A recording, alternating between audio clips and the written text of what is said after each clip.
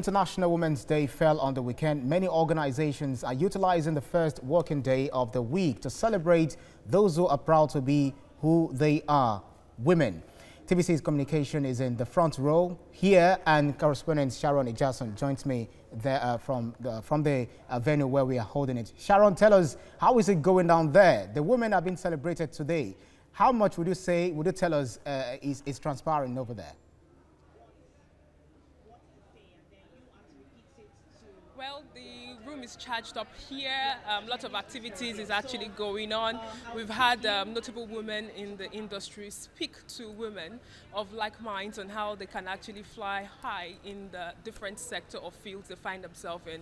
I have with me the managing director of um, the Nigerian Ports Authority. She's been with TVC News all morning, but there are one or two things that I think she could actually share to workers on how um, women can actually um, excel in whatever fields they find themselves in. What more? What's your advice to the average Nigerian worker? Well, my advice to the average woman is for her to work harder. As a woman, you need to work three times as hard as a man to excel.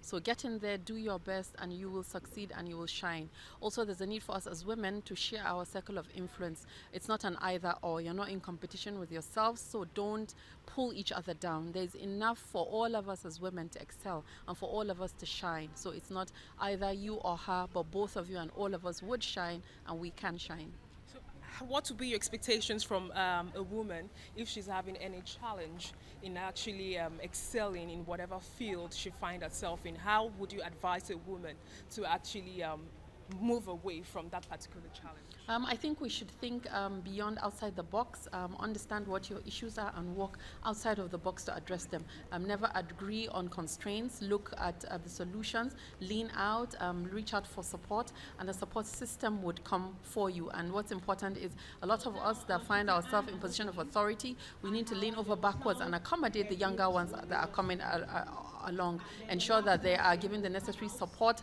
um, provide them with leeway to enable them grow. Um, there are certain challenges we have in the course of our lives, and in those particular critical points, women should come together to support each other and provide that enabling environment for the girl to shine.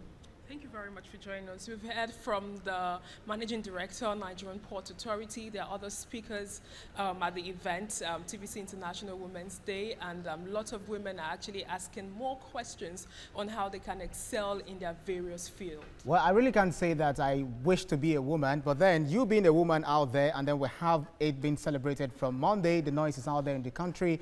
How would you say it makes you feel, Sharon, to be being a woman being celebrated internationally?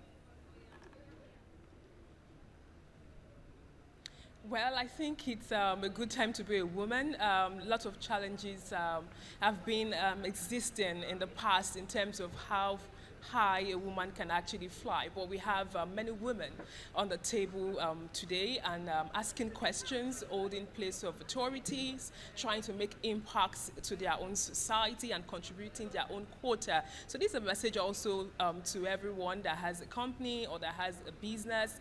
That female input is important because, of course, a woman is more, uh, more cautious, and more knowledgeable at, in some occasions in terms of handling situations situations and ensuring that um, there is total growth, economic growth for all. All right, um, TVC News correspondent uh, Sharon Jackson live for us from the International Women's Day being celebrated from our company.